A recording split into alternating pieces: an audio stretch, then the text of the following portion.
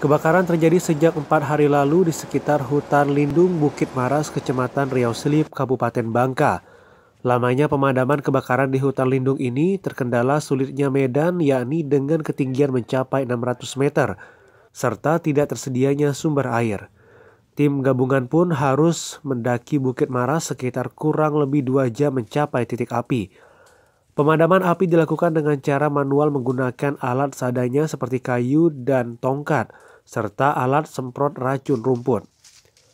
Kepala Bidang Penanggulangan Bencana Dinas Satpol PP Kabupaten Bangka Ahmad Fauzi mengatakan, sumber api menyebar di beberapa titik di lokasi Bukit Maras. Selain itu, saat ini pemadaman juga dilakukan oleh warga sekitar desa Berbura. Bahwa api sampai saat ini yang ada di seputar Gunung Maras yang tersebar di seluruh titik ada beberapa titik kita tidak bisa hitung itu sampai sekarang masih ada dan belum padam seperti itu. itu. Informasi yang kita terima dari pihak desa mulai hari Sabtu kemarin, jadi mungkin sudah tiga hari atau empat hari sampai sekarang.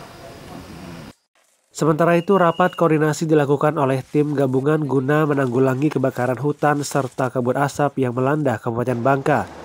Selain itu, masyarakat juga diharapkan turut berperan untuk menjaga lingkungan dengan tak membakar hutan dan lahan sembarangan.